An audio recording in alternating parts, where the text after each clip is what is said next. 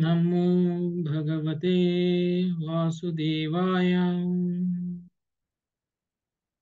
ॐ नमो भगवते वासुदेवाय।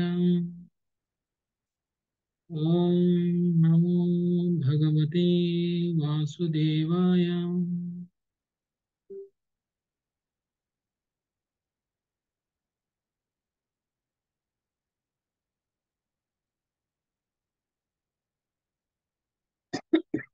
హరే కృష్ణ అందరికీ స్వాగతం. ఈరోజు మనము రెండవ అధ్యాయము ఆరవ స్కందం రెండవ అధ్యాయం ముప్పై మూడవ శ్లోకం నుంచి ఈరోజు స్టార్ట్ చేద్దాం. సో ఇక్కడ వరకు కూడా అజామినుడు ఆయన చేసినటువంటి పాపాలని గుర్తు తెచ్చుకుంటున్నాడు. సో ఆయనకి ఎప్పుడైతే విష్ణుదూతులు అక్కడి నుంచి వెళ్ళిపోయారో ఎప్పుడైతే విష్ణుదూతులతో మాట్లాడాలి అనుకునేటువంటి ప్రయత్నం చేసిన వెంటనే విష్ణుదూతులు అక్కడికి వెళ్ళడం అనేటువంటిది జరిగింది. ఎందుకు అజామినుడు మాట్లాడుతున్నా కానీ మాట్లాడే మాటలను వినకుండానే విష్ణుదూతలు వెళ్ళిపోయారు అనేటువంటి విషయానికి మనము వివరణ చూసాము. ఎప్పుడైతే వాళ్ళు ఇంకా మాట్లాడనిచ్చి మాట్లాడితే కనుక ఆయనకి ఆ విరహం అనేటువంటిది ఉండదు. ఒకవేళ విరహం లేకపోతే భక్తి రాదు.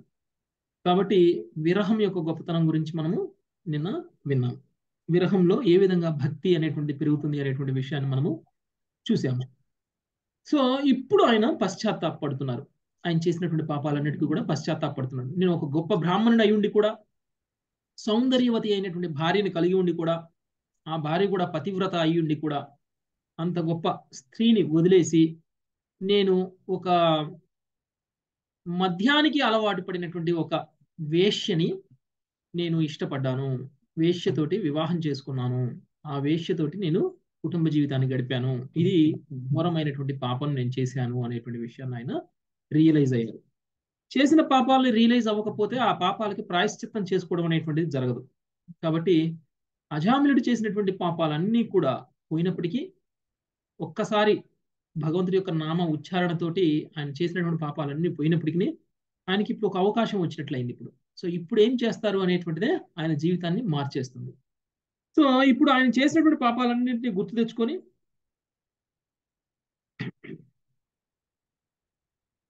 ఆధ్యాత్మిక కర్మలు ఏవో కొన్ని చేసి ఉన్నాను కాబట్టే నాకు విష్ణుదూతలు కనిపించారు.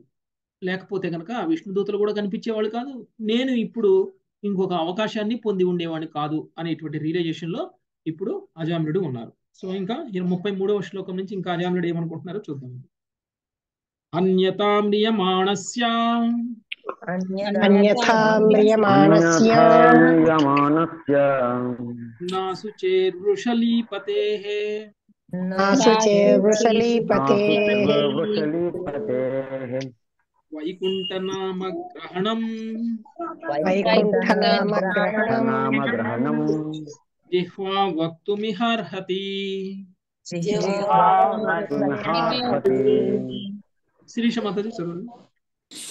హరే కృష్ణ. పూర్వ పూర్వం ఉనర్చిన భక్తి వలనే కానిచో శుచిరహితుడును వై వేశ్యాపతిని యగు నాకు మరణ సమయమున మరణ మాసన్న మైనంతట వైకుంఠపతి నామమును ఉంచె ఉచ్చరించడి అవకాశము ఎట్లు కలుగును? నిక్కముగా అది సంభవమయ్యేడిది కాదు చూడండి మాతాజీ నెక్స్ట్ భాష్యం భాష్యము. వైకుంఠపతి నామము వైకుంఠ నామమునకు అభిన్నము. పూర్వము మనరించిన భక్తియుత కర్మల కారణమునే ఘోరాతి ఘోరమైన మరణ సమయమున వైకుంఠపతి నామమును ఉచ్చరించడి మహదవకాశము తనకు లభించినదని అజామిరుడు తెలుసుకొని కొనగలిగాను. ఓకే మాతాజీ. హరే కృష్ణ. సో అజామినుడు మరణ సమయంలో నారాయణ అనగలిగాడు. దానికి కారణం ఏమిటి? దీర్ఘకాలం పాటు ఇంద్రియభోగం చేశాడు కాబట్టి దీర్ఘకాలం పాటు ఒక వేశ్యతోటి కుటుంబ జీవనాన్ని గడిపాడు కాబట్టి దీర్ఘకాలం పాటు పాపాలు చేస్తూ వచ్చాడు కాబట్టి వీటన్నిటి వల్ల నేను నారాయణాన్ని గుర్తు తెచ్చుకోలేదు. ఒకవేళ నేను నారాయణాన్ని గుర్తు తెచ్చుకునేటువంటి భాగ్యం నాకు కలిగింది అని అంటే కారణం నేను ఇంతకు ముందు చేసినటువంటి భక్తి. ఇంతకు ముందు చేసినటువంటి ఆధ్యాత్మిక సాధన అనేటువంటిది ఏదైతే ఉందో దానివల్ల అంతే తప్ప జీవితం మొత్తం పాపాలు చేస్తూనే జీవితం మొత్తం భౌతికంగానే ఉంటూ అంత్యకాలంలో మాత్రం భగవంతుడు గుర్తు రావాలంటే సాధ్యం కాదు. ఈవెన్ అజామిలుడికైనా సరే భగవంతుడు గుర్తొచ్చాడు భగవంతుడి యొక్క నామమైనా కనీసంగా నోటికి ఉచ్చరించేటువంటి అవకాశమైనా దొరికింది అని అంటే దానికి కారణం ఆయన చేసినటువంటి గతంలో చేసినటువంటి భక్తి. వేష్య పరిచయం కాకముందు ఆయన చేసినటువంటి భక్తి ఏదైతే ఉందో ఆ భక్తి కారణంగానే ఇక్కడ ఈయన ఉద్ధరింపబడ్డాడు. అందుకనే స్వల్పమప్యస్య ధర్మస్య. కొంచెం నువ్వు భక్తి చేసినా కానీ అది ఏ విధంగా నిన్ను ఉద్ధరిస్తుంది అనేటువంటి దానికి ఇది ఇంకొక ఉదాహరణ. సో ఆయన చేసినటువంటి కొంచెం భక్తి ఆయన ఇప్పుడు కాపాడింది. ఆ కొంచెం భక్తి కూడా లేకపోతే కొడుకు నారాయణ అని పేరు పెట్టుకునేవాడు కాదు. ఆ నారాయణ అనే పేరుతో ఉన్నటువంటి కొడుకు మీద అంత ప్రేమ వచ్చి ఉండేది కాదు. ఆ ప్రేమతో ఆయన మరణ సమయంలో ఆయన పేరుని పిలిచే పిలిచేటువంటి వాడు కూడా కాదు. సో ఇదంతటికీ కూడా కారణం ఆయన చేసినటువంటి ఆ కొంచెం భక్తి అని అనుకుంటారు. అంటే ఆయన తెలిసిపోయింది. ఏది పాపం ఏది పుణ్యం ఏది మంచి ఏది చెడు అనేటువంటి విషయం ఎప్పుడు తెలుస్తుంది? ఆ విచక్షణ ఎప్పుడు వస్తుంది అని అంటే ఎప్పుడైతే జ్ఞానాన్ని పొందామో అప్పుడు వస్తుంది. ఆ జ్ఞానం ఇప్పుడు విష్ణుదూతుల ద్వారా ఆయనకి కలిగింది. అది ఎప్పుడైతే కలిగిందో అప్పుడు వెంటనే ఆయన చేసినటువంటి పాపాలకి పుణ్యాలని వేరు చేయగలుగుతున్నాడు. పరమహంసలాగా. సో ఏ విధంగా అయితే హంస పాల నుంచి నీళ్ళని వేరు చేసేసి పాలను సపరేట్ ఎలా చేస్తుందో ఆ విధంగా ఈయన ఇప్పుడు పాపాలను వేరు చేసేస్తున్నాడు. పుణ్యాలని ఆయన పుణ్యం అంటే ఆయన చేసినటువంటి భక్తిని వేరు చేస్తున్నాడు ఆయన జీవితం నుంచి. సో ఆ భక్తి ఎంత గొప్పదో ఇప్పుడు ఆయన తెలుసుకోగలిగాడు. ఎందుకంటే ఆ భక్తి కనుక అప్పుడు చేసి ఉండకపోతే ఇప్పుడు ఆయన పరిస్థితి ఏమైపోయేది అనేటువంటి విషయంలో ఆయన ఇప్పుడు రియలైజ్ అవుతున్నారు అనమాట అందుకని ఆయన భక్తికి ప్రాధాన్యత ఇవ్వబోతున్నారు. క్వచాహం కితన వా పాపో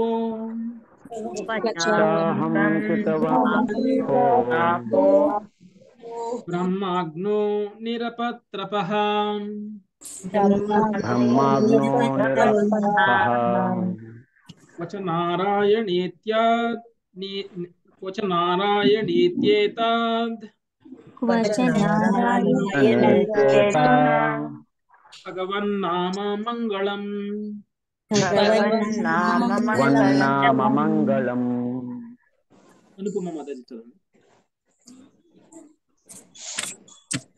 అనుపమ మాతాజీ హరి కృష్ణ.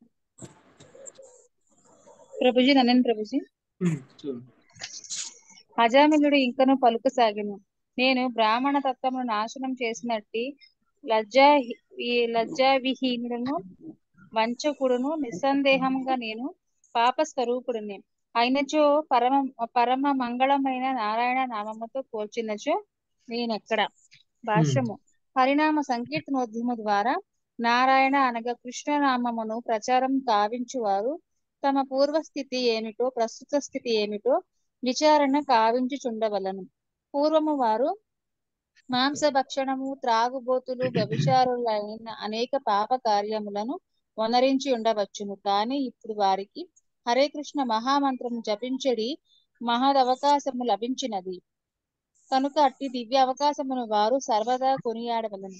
కృష్ణుని అనుగ్రహించే మేము అనేక అనేకముగు దేవాలయములను నిర్మించుకున్నాము. కనుక హరినామమును జపించుటకు కృష్ణ సేవలో ప్రత్యక్షకంగా పాల్గొనుటకు లభించిన ఈ మహద్భాగమును భాగ్యమును ఎల్లరూ సద్వినియోగపరుచుకొనవలను. ప్రతి ఒక్కరు తమ పూర్వస్థితిని ప్రస్తుత స్థితిని చక్కగా ఎరిగి ప్రస్తుత మహోన్నత స్థితి నుండి పతనం చెందనిలాగున సదా సావధానులై ఉండవలను హరే కృష్ణ ఓకే భక్తుడు చాలా జాగ్రత్త పడాల్సింది ఏమిటి అని అంటే భక్తిలో ఒక అడుగు కిందికి వేసేలాగా ఆయన యొక్క జీవితాన్ని ఉండకూడదు. ఒక మెట్టు వెనక్కి వెళ్ళే విధంగా ఉండకూడదు. ఆజామినుడు వెనక్కి వెళ్ళాడు. సో అలా వెనక్కి వెళ్ళడము అనేటువంటిది ఏదైతే ఉందో అది ఇక మనము భౌతికంగా ఏది సాధించినా కానీ దాంతో సమానం కాదు. అంటే ఇంతకాలం నువ్వు నామాన్ని తీసుకున్నావు. నామం ప్లేస్లో ఇప్పుడు మన మన జీవితంలోకి ఏదో లౌకికమైనటువంటి విషయం వచ్చింది అనుకోండి ఈ లౌకికమైనటువంటి విషయాలు ఏవైతే పూరించాయో మన ఆధ్యాత్మిక కర్మల్లోకి అప్పుడు మనము పతనం చెందినట్లు. ప్రతిరోజు మనం ఈ సమయంలో భాగవతం వింటాం. ఈ సమయంలో భాగవతం మానేసి ఏదైనా ఒక సీరియల్ చూసామనుకోండి కొంతకాలం. అంటే ఏంటన్నట్టు? ఆధ్యాత్మిక కర్మ ప్లేస్లో భౌతిక కర్మ యాడ్ అయినట్టు. సో ఇది పతనం. ఈ పతనము అనేటువంటిది చాలా ఘోరమైనటువంటి పతనం. అందుకని ఇక్కడ చెప్తున్నాడు నేను నామాన్ని స్వీకరించాల్సినటువంటి నేను నామం ప్లేస్లో ఈయన వేష్యతోటి అనేక రకాలైనటువంటి పాప కార్యాలన్నీ చేసి ఆయన బ్రాహ్మణత్వాన్ని కోల్పోయాడు. ఏదైతే బ్రాహ్మణత్వము అంటే భక్తి. సో ఈ భక్తిని కోల్పోవడము అనేటువంటిది ఏమని చెప్తున్నారు ఇక్కడ అంటే అంటే మన వర్ణం నుంచి మనం దిగజారడం. అంటే మనకు ఉన్నటువంటి వర్ణం ఏదైతే ఉందో అంటే ఇప్పుడు బ్రాహ్మణ వర్ణం వాడు బ్రాహ్మణ వర్ణం నుంచి శూద్ర వర్ణానికి పడిపోయాడు. ఇది మహాపాపం. సో ఇలాంటి ఒక మహాపాపాన్నే నేను చేసేసాను. నామం కంటే గొప్పదనుకున్నాను నేను ఇది. నామం కంటే కూడా ఈ యొక్క ఇంద్రియ భోగం ఏదైతే ఉందో ఇదే గొప్పదనుకున్నాను. కాబట్టి నేను అంత పతనం చెందాను అని ఆయన అనుకుంటున్నాడు. కాబట్టి ఈ సు- సుఖాలైతేయే ఈ సంతోషాలైతేయే ఈయన పొందినటువంటి ఇంద్రియ భోగం ఏదైతే ఉందో ఇదంతా కూడా నామంతో కంపేర్ చేస్తే ఎక్కడ ఈ నామమే మనల్ని రక్షిస్తుంది అనేటువంటి విషయం ఆయన ఇప్పుడు అర్థం చేసుకున్నారు. అందుకనే మనం ప్రచారం చేసేది కూడా అదే. ఏది కరెక్ట్ ఏది శాస్త్రం చెప్తుందో దాన్నే మనము ప్రచారం చేస్తున్నాం. నామం యొక్క గొప్పతనంలో మనము అనేక సందర్భాల్లో మనం నామం యొక్క గొప్పతనాన్ని తెలుసుకోవడం అనేటువంటిది జరిగింది. ఓకే? సో ఈవెన్ మనం భగవద్గీత చెప్పుకునేటప్పుడు కూడా ఎక్కడెక్కడ భగవంతుడు నామాన్ని స్మరించాలి అని చెప్తారో అక్కడ కూడా మనం నామం యొక్క గొప్పతనాన్ని చెప్పుకుంటూ ఉంటాం. ఓకే? మనము కర్మకాండలో లేదు అంటే ప్రాయశ్చిత కర్మల్లో మనం చేసేటువంటి అనేక రకాల పుణ్యకార్యాలు ఉన్నాయి. ఇవి అశ్వమేధ యజ్ఞాలు అయితేయే లేకపోతే ఇంకా గోవుల దానాలు అయితేయే ఇవన్నీ కూడా బ్రాహ్మణుడికి చేసేటువంటి భిక్ష అయితే ఇవన్నీ కూడా మనకి నామంతో సమానం కాదు. మనం అనుకుంటాం ఇవన్నీ చెయ్యాలి ఇవన్నీ చేస్తే మనకి ఎక్కువ ఫలితం ఉంటుంది అని అనుకుంటాం. కానీ ఇవన్నీ చేయనటువంటి వ్యక్తి మనస్ఫూర్తిగా భగవంతుని గనక స్మరిస్తే భగవంతుడి యొక్క నామాన్ని గనక స్మరిస్తే వచ్చేటువంటి లాభం వీటన్నిటికంటే కొన్ని కోట్ల రెట్లు ఎక్కువగా ఉంటుంది. కాబట్టి నామంతో దేన్ని కంపేర్ చేయలేము ఇక ఇంద్రియ భోగాన్ని ఎలా కంపేర్ చేస్తాం? ప్రాయశ్చిత్త కర్మలుగా చేస్తున్నటువంటి పుణ్యకార్యాలనే కంపేర్ చేయలేము. కోట్ల రెట్లు ఎక్కువగా లాభాన్ని మనం నామంతో పొందుతాము. అలాంటప్పుడు మనము పాపకార్యాలు చేస్తూ ఈ పాప ఇంద్రియ భోగం అనేటువంటి ముసుగులో చేస్తున్నటువంటి పాపకార్యాలు ఏవైతే ఉంటాయో వీటితోటి ఈ నామాన్ని కంపేర్ చేయడానికే లేదు. కానీ ఈ యొక్క ఉత్తమమైనటువంటి నామాన్ని వదిలేయడం అనేటువంటిది ఏదైతే ఉందో అంత విచక్షణ కోల్పోయినటువంటి వ్యక్తులు అంటే భౌతికమైనటువంటి ఆకర్షణ ఎక్కువగా ఉన్నటువంటి వ్యక్తులకి ఆ విచక్షణ అనేటువంటిది ఉండదు. ఎప్పుడైతే ఆకర్షణ పోతుందో అప్పుడు ఆ విచక్షణ అనేటువంటిది వస్తుంది. ఇప్పుడు అజామిలుడికి ఆ విచక్షణ వచ్చింది. నామం యొక్క గొప్పతనం ఇప్పుడు ఆయనకి అర్థమైంది. సో అహం తథా యతిష్యామి.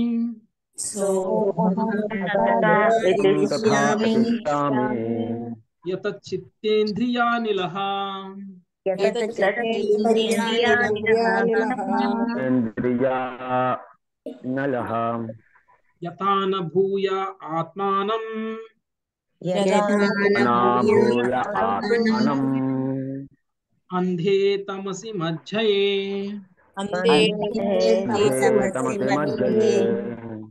మంగతాయర్ మత చదువు హరే కృష్ణ ప్రభుజీ దండవత ప్రణామం నేను పరమ పాపిని అయినను ఇప్పుడు నాకు ఈ అవకాశం లభించినందున తిరిగి గాఢాంధకారమయమగు సంసారమున బడకుండలాగిన మనస్సును ప్రాణమును ఇంద్రియములను నిగ్రహించి భక్తితో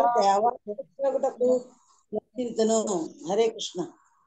చదివమంటారు భాష్యం చదవండి భాష్యం. ప్రతి ఒక్కరు ఇదే దృఢ సంకల్పం కలిగి ఉండవలెను. గురుకృష్ణుల కరుణ చేతనే మనకి మహోన్నతముకు పదము సంప్రాప్తించినది. ఇది మహా అవ- అవకాశమని తలుచుచు తిరిగి పతనము చెందనలాగున శ్రీకృష్ణ ప్రార్థించినచో ఎల్లరి జీవితంలో సాఫల్యం చెందగలవు. హరే కృష్ణ. ఒక్కసారి మృత్యు నోట్లోకి వెళ్ళి తిరిగి వచ్చేసాడు. కదండి? అజామినుడు ఒక్క క్షణం అయితే మరణించేసి ఉండేవాడు. విష్ణుదూతలు వచ్చి కనుక ఆపకపోతే. అంటే ఘోరమైనటువంటి యాక్సిడెంట్ ఘోరమైనటువంటి ప్రమాదం. ప్రమాదం నుంచి బయటపడినటువంటి వ్యక్తి ఆలోచన విధానం ఇలా ఉండాలి. అంతే తప్ప నేను చేయాల్సిన ఇంద్రియ భోగాలు చాలా ఉన్నాయి. నేను చూడాల్సిన స్థలాలు చాలా ఉన్నాయి చూడాల్సిన ప్లేసులు చాలా ఉన్నాయి. నేను అనుభవించాల్సినటువంటి కోరికలు ఇంకా చాలా ఉన్నాయి తీర్చుకోవాల్సిన కోరికలు చాలా ఉన్నాయి. ఇవన్నీ తీర్చుకోకముందే చచ్చిపోయి ఉండేవాడిని. ఏదో అదృష్టవశాత్తు బయటపడ్డాను. మళ్ళీ ఇలాంటి సందర్భం రాకముందే ఈ కోరికలన్నీ తీర్చేసుకోవాలి. ఇవన్నీ తీర్చుకోకుండానే నేను పోతానేమో అనేటువంటి ఆలోచనలో ఉండకూడదు అని జనరల్గా ఆలోచించేటువంటి ఇంకా చూడండి మనం మరణించేటప్పుడు కూడా కోరికలతోటి మరణించినటువంటి వాళ్ళు వాళ్ళకి పిండం పెడితే పక్షులు కూడా ఆ పిండాన్ని ముట్టుకో. మరణించేటప్పటికి కూడా కోరికలు చావవు. అందుకనే ఆ కోరికని ఎవరైతే పిండాలు పెడతారో వాళ్ళు తీరిస్తారో అప్పుడు మళ్ళీ పక్షులు వచ్చి ఆ పిండ పెట్టినటువంటి అన్నాన్ని ముట్టుకోవడం అనేటువంటిది జరుగుతుంది. ఇదన్నీ కూడా చూస్తే మరణ సమయం వరకు కూడా ఉండాల్సినటువంటి విషయాలు కాదు ఇవన్నీ. అవన్నీ ఏమి మనకు మంచిది కాదు. మనం అనుకుంటాము అమ్మయ్య పిండం తినిపోయింది పక్షి వచ్చి కాకి వచ్చి పిండాన్ని ముట్టుకుంది ఇంకా మన బాధ అయిపోయింది అని అనుకుంటాం. మనం బాధపడాల్సిన విషయం ఓకే? ఎప్పుడైతే పక్షి ముట్టుకోలేదో అప్పుడు మనం బాధపడాలి. ఎప్పుడైతే మనం ఆ పిండాలను మళ్ళీ మనము ఏదో ఒక రకంగా ఆ కోరికలు తీర్చేసాము అనుకున్నామో అది కూడా బాధపడాల్సినటువంటి విషయం. ఆ స్థితి వరకు కూడా అంటే ఆ మరణ సమయం వరకు కూడా ఆ స్థితిలో ఉండడం అనేటువంటిది దురదృష్టకరం. ఇప్పుడు అజాములుడికి ఒక అవకాశం వచ్చింది. ఒక్క ఛాన్స్ ఇచ్చాడు భగవంతుడు. ఈ ఛాన్స్ నేను సరిగా ఉపయోగించుకోవాలి. ఇంతకు ముందులాగా మళ్ళీ పాపకర్మలు చేయకూడదు. ఇంతకు ముందులాగా నేను ఇంద్రియాలని కంట్రోల్ లేకుండా చేయకూడదు. మనసుతో సహా ఇంద్రియాలన్నింటినీ కూడా కంట్రోల్ చేసుకుని నిరంతరం భక్తియుత సేవ చేయాలి అని అజామినుడు కోరుకుంటున్నాడు. ఇది గొప్ప కోరిక. దృఢంగా సంకల్పించుకుంటున్నాడు. సో ప్రతి ఒక్కళ్ళు కూడా ఇలాంటి ఒక దృఢ సంకల్పాన్ని గనక మనం కూడా కలిగి ఉంటే భగవంతుడి యొక్క కృపతోటి మనకి గురువుల ద్వారా ఇవ్వబడినటువంటి నామంతో అంటే గురువుల యొక్క కృపతోటి మనం కూడా అజామిలుడు సాధించేటువంటి మహోన్నతమైనటువంటి వైకుంఠ ధామానికి మనం కూడా చేరగలం. చూడండి నా వెనకాల ఉన్న ఫోటోలో అజామిలుడు వైకుంఠ ధామానికి వెళ్తున్నాడు. ఎలా వెళ్తున్నాడో చూడండి. ఆయన కోసం ఒక పుష్పక విమానం వచ్చింది. ఆ పుష్పక విమానంలో విష్ణు దూతలు వచ్చి మరి ఆయన ఆహ్వానిస్తూ తీసుకొని వెళ్తున్నారు. ఇది ఒక గొప్ప ఆహ్వానం. ఇది ఒక గొప్ప ప్రయాణం. ఈ ప్రయాణానికి మనము ఏర్పాట్లు చేసుకోవాలి. ఇలాంటి ఒక ప్రయాణానికి ఏర్పాట్లు చేసుకోకుండా జీవించేటువంటి పాప జీవనం ఏదైతే ఉంటుందో అది ఆల్రెడీ అజామినుడు అనుభవించి దానికంటే ఉత్తమమైనటువంటి జీవితం భక్తి అనేటువంటి విషయాన్ని ఆయన రియలైజ్ అయ్యి మనందరికీ కూడా తెలియజేస్తున్నారు. విముచ్యతమిమం బంధం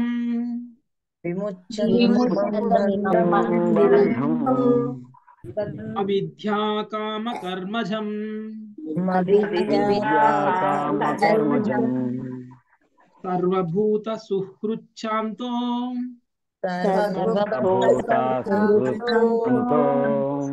मैत्रः करुणा आत्मवान्। मोचये ग्रस्तमात्मानम् येषिन्मय्यात्ममायना मायया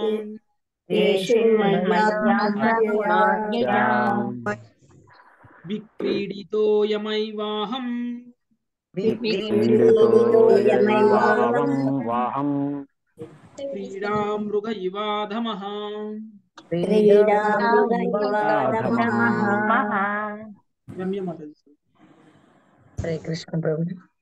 దేహాత్మ భావన కారణమున్న మనుషుడు ఇంద్రియ భోగ కోరికలను కలిగి నానా విధములకు పుణ్యపాప కార్యములలో నెలకొను అది ఏ భవబంధమును కలుగు చేయును స్త్రీ రూపమున భగవన్నామచే కలుగునట్టు ఆ భవబంధం నుండి లే- నేను నేనిప్పుడు తప్పక బయటపడేదను. పరమపత్రుడైనందున మాయకు బలి అయి ఆడదాని చేతిలో క్రీడామృగం వలె అయితని. ఇప్పుడు ఆ కామవాంఛలను విడిచి మోహ విముక్తుడయ్యేదను అయ్యే విముక్తుడయ్యదును. కరుణగలవాడును సర్వజీవుల మిత్రుడును సదా కృష్ణ భక్తి భావని అందే సంలగ్నమైన వాడును ఆగుదును. హరే కృష్ణ ప్రభుజీ. ఓకే. సో ఇప్పుడైనా కృష్ణ భక్తిని చేస్తాను అనేటువంటి విషయాన్ని ఆయన అనుకుంటున్నాడు. మామూలుగా మనం కృష్ణ భక్తి భావన ఎందుకు చెయ్యము అనేటువంటి విషయాన్ని కూడా ఇక్కడ అజామినుడు చెప్తున్నాడు. ఎందుకు చేయమనుకుంటున్నాడు ఎందుకు చేయమనుకుంటున్నాడు అంటే ఎప్పుడైతే మనం దేహాత్మ భావంలో ఉంటామో అంటే ఈ శరీరానికి సంబంధించినటువంటి సుఖాలే ప్రాముఖ్యము అని ఎవరైతే అనుకుంటారో ఎందుకంటే మనం ఉందే ఈ శరీరాన్ని సుఖపెట్టడం కోసం. ఈ శరీరమే మనం. మనం సుఖపడకుండా చేసేటువంటిది మనకి ఇంకా ఎందుకు అనేటువంటి భావనలో ఉండడం. అంటే ఈ శరీరానికి సంబంధించిన ప్రతిదీ కూడా మనది అని అనుకునేటువంటి భావన ఏదైతే ఉంటుందో అది దేహాత్మ భావన. ఈ దేహాత్మ భావన అనేటువంటిది మనలో ఉన్నటువంటి ఇంద్రియ కోరికలని చేసేలా చేస్తుంది. ఈ ఇంద్రియ కోరికలు ఎలా ఉంటాయంటే నానా రకాలైనటువంటి పుణ్యకార్యాలు నానా రకాలైనటువంటి పాపకార్యాలతో కూడి ఉంటాయి. సో ఈ విధంగా పుణ్యకార్యాలు పాపకార్యాలలో నెలకొనటము అనేటువంటిది ఏదైతే ఉంటుందో అది మనల్ని భవబంధాల నుంచి విముక్తులని చేయదు అనేటువంటి విషయాన్ని ఇక్కడ అజామ్యుడు చెప్తున్నారు. ఎందుకు జరుగుతుంది ఇలా దేహాత్మ భావంలో ఎందుకుంటాము? ఎందుకు ఇలా మనం దేహాత్మ భావంలో పుణ్యపాపాలు చేస్తూ ఉంటాము? ఎందుకు మనం కర్మకాండలో ఉండిపోతాము? అని అంటే కారణం మాయా అనేటువంటి విషయం చెప్తున్నారు. ఆ మాయ ఎవరు? స్త్రీ రూపంలో ఉన్నటువంటి భగవన్ మాయ. మాయాదేవి అన్నమాట.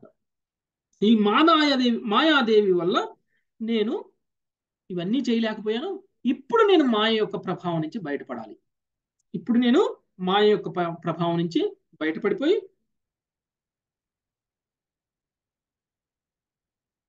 ఏదైతే ఆడదాని చేతిలో క్రీడా మృగము వలె అయితిని అనేటువంటి విషయం చెప్తున్నారు. అంటే ఒక మృగము మాయకి బలి అయినటువంటి వ్యక్తిని ఏ విధంగా కంపేర్ చేస్తున్నారంటే ఆడదాని చేతిలో బంధింపబడినటువంటి ఒక మృగంతో పోలుస్తున్నారు. అంటే మన స్థితి చాలా ఎక్కువ మన స్థితి చాలా గొప్పది. కానీ మనము ఒక స్త్రీ చేతిలో ఓడిపోబడ్డటువంటి ఒక స్త్రీ చేతిలో బంధింపబడినటువంటి ఒక మృగంలాగా మనము అయిపోయామన్నమాట. ఎలా అంటే మాయతోటి బంధింపబడటం అనేటువంటిది. సో ఆ విధంగా కంపేర్ చేసి మరీ చెప్తున్నారు. కాబట్టి మాయతో బంధింపబడటం అంటే ఏమిటి? అని అంటే ఈ ఇంద్రియ భోగాలు. ఇంద్రియాలతోటి మనం చేసేటువంటి అనేక రకాలైనటువంటి భోగాలు ఏవైతే ఉన్నాయో లేదంటే మనసుతోటి మనము ఏ విధంగా అయితే ఇంద్రియ భోగాలు చేయాలి అనేటువంటి కోరికలను కలిగి ఉంటామో ఇవన్నీ కూడా. అంటే ఇప్పుడు దాకా ఆయన చేసినటువంటి పని అదే. కామవాంఛ. కామవాంఛతోటే ఆయన బ్రాహ్మణ పత్నిని వదిలేశాడు. భార్యను వదిలేశాడు. ఇంకా ధర్మాచారాలను వదిలేశాడు. భగవంతుడు భక్తిని వదిలేశాడు. కామ కామవాంఛతోటే ఆయన పాపకర్మలు చేయడం మొదలుపెట్టాడు. కామవాంఛతోటే దోపిడీలు చేయడం మొదలుపెట్టాడు. కామవాంఛతోటే పది మంది పిల్లల్ని కన్నాడు. ఈ విధంగా చేయటం అనేటువంటిది ఆయన మోహంలో ఉండడం వలన ఆయన మాయలో ఉండడం వలన ఇదంతా జరిగింది. ఇప్పుడు నేను ఆ మోహాన్ని వదిలేస్తాను. ఇప్పుడు నేను అవన్నీ కూడా వదిలేయాలి. ఎప్పుడైతే మనం కృష్ణ భక్తి భావనలోకి వస్తామో ఇవన్నీ కూడా వదిలేసినట్లు అవుతుంది అంటే సొల్యూషన్ చూడండి. మాయ నుంచి బయటపడాలంటే కృష్ణ భక్తి భావంలోకి రావాలి. కృష్ణ భక్తి భావంలోకి రాకుండానే నేను మాయ నుంచి బయటపడతా అనుకుంటే అది సాధ్యం కాదు. అందుకని ఇక్కడ అజామినుడు ఏం చెప్తున్నాడు? నేను ఇప్పుడు కృష్ణ భక్తి భావంలోకి వస్తాను. అప్పుడు నేను మాయ నుంచి బయటకు వచ్చిన వాడిని అవుతాను అనేటువంటి విషయాన్ని ఇక్కడ చెప్తున్నాను ఓకే? చదవండి మాతాజీ. రమ్య మాతాజీ ఆ, రే. భాష్యము. కృష్ణ భక్తి భావనాయుతులైన అందరికీ ఇంతటి దృఢ నిశ్చయము ఉండవలెను. కృష్ణ భక్తి భావనాయుతుడు మాయాబంధనము నుండి తనను ముక్తిని కావించుకొనవలెను. అంతేగాక బంధములలో చిక్కుకుని దుఃఖభాగులై వారి ఎడ కరుణ చూపవలెను. కృష్ణ చైతన్యోద్యమం యొక్క కర్మలు వ్యక్తిగత లాభములకే కాక ఇతరుల కొరకు ఉద్దేశించబడి ఉన్నవి. ఈ ఉద్యమం యొక్క గొప్పదనమే అది. కేవలం తన మోక్షం ముందే అభిరుచి కలిగిన వాడు పరుల ఎడ దయ దయగలిగిన వాని కన్నను భక్తిలో పురోగమించిన వాడు కాదు. ఇతరుల ఎడ దయగలిగిన వాడు హరినామ సంకీర్తనాధ్యాయమును ప్రచారం కావించును. శ్రీకృష్ణుడే ప్రత్యేకముగా రక్షించిన కారణమున అట్టి భక్తుడు ఎన్నడూను పతనం చెందడు. కృష్ణ చైతన్యోద్యమం యొక్క సారాంశం ఇదియే ప్రతి ఒక్కరూ మాయాదేవి చేతిలో ఆటబొమ్మయ్యి ఆమె ఆడించినట్లు ఆడుచున్నారు. కనుక దాని నుండి బయటపడుటకు అట్లే ఇతరులను విడిపించుటకు మనుషుడు కృష్ణ భక్తి భావనాయుధుడు కావలెను. హరే కృష్ణ. ఇంకొక విషయాన్ని ఇక్కడ మనకి ప్రభుపాదుల వారు తెలియజేస్తున్నారు. భక్తిలో పురోగమించామా లేదా అనేటువంటి విషయం మనకి ఏ విధంగా అర్థమవుతుంది అని అంటే నేను నా భక్తి చేసేసుకుంటాను. నేను నా నా మాలలు నేను చేసేసుకుంటాను. నా సంతోషం నేను చూసుకుంటాను. నేను భక్తిలో పురోగమించేస్తాను అని అనుకోవడం అనేటువంటిది భక్తిలో పురోగమించినట్లు కాదు. భక్తిలో పురోగమించడము అని అంటే మనం భక్తి చేస్తూ భక్తి చేయనటువంటి వాళ్ళ మీద జాలి చూపించగలగాలి. అంటే భక్తి అనేటువంటిది ఎలాంటిది అని అంటే మనల్ని మనం ఉద్ధరించుకోవడమే కాదు మనలాంటి వాళ్ళందరినీ కూడా ఉద్ధరించడం ఏదైతే ఉంటుందో అది నిజమైనటువంటి భక్తి. అది భగవంతుడు కూడా మెచ్చేటువంటిది. అందుకనే మనం ఎందుకు మనం ఇంతగా మనం బుక్ డిస్ట్రిబ్యూషన్ బుక్ డిస్ట్రిబ్యూషన్ అని చెప్పేసి మనం ఎందుకు తాపత్రయపడతాం? ఎందుకు అందరికీ ప్రభుపాదుల వారి బుక్స్ అందాలి అని ఎందుకు ప్రచారం ఎందుకు మనం తాపత్రయపడతాము అని అంటే అందరికీ కృష్ణుడు అందాలి. అందరికీ కృష్ణ భక్తిని ఇవ్వాలి. అందరూ కూడా ఈ పతిత జీవనం నుంచి బయట రావాలి. అందరూ ఎంతో కొంత కృష్ణ భక్తి చేయాలి. ఆ విధంగా వాళ్ళు కూడా ఉద్ధరింపబడాలి అనేటువంటిది మన భగవద్గీత భాగవతం పుస్తకాల వితరణ వెనకాల ఉన్నటువంటి మూల కారణం. ఇలా చేయటము అనేటువంటిది ప్రచారం. ప్రచారం చేయకుండా వైష్ణవుడు అవ్వలేరు. వైష్ణవుడు ప్రచారం ఎక్కువగా చేస్తాడు. ప్రచారం అంటే ఏం ప్రచారం చేస్తాడు? ఏ ఏ సినిమా గురించో లేకపోతే ఏ రాజకీయ పార్టీ గురించో ప్రచారం చేయరు. ఆయన చేసే ప్రచారం భగవంతుడి గురించి చేస్తాడు. అందరికీ భగవంతుడిని అందించాలి అనేటువంటి ప్రయత్నం చేస్తాడు. ఇది ఒక భక్తుడు చూపించేటువంటి ఇతర లౌకికంగా ఉన్నటువంటి వ్యక్తుల మీద కరుణ. ఇలాంటి కరుణ చూపించడం అనేటువంటిది ఏదైతే ఉంటుందో అది కృష్ణ భక్తి భావనాయుతుడు మాత్రమే చేయగలుగుతాడు అని చెప్తున్నారు. మమాహమితి దేహోదౌ దేహాదౌ.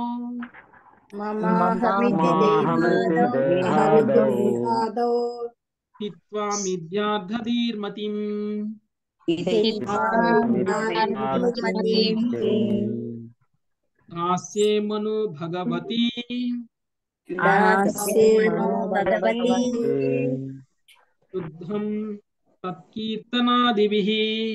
శుద్ధం తత్కీర్తనాదిభిః.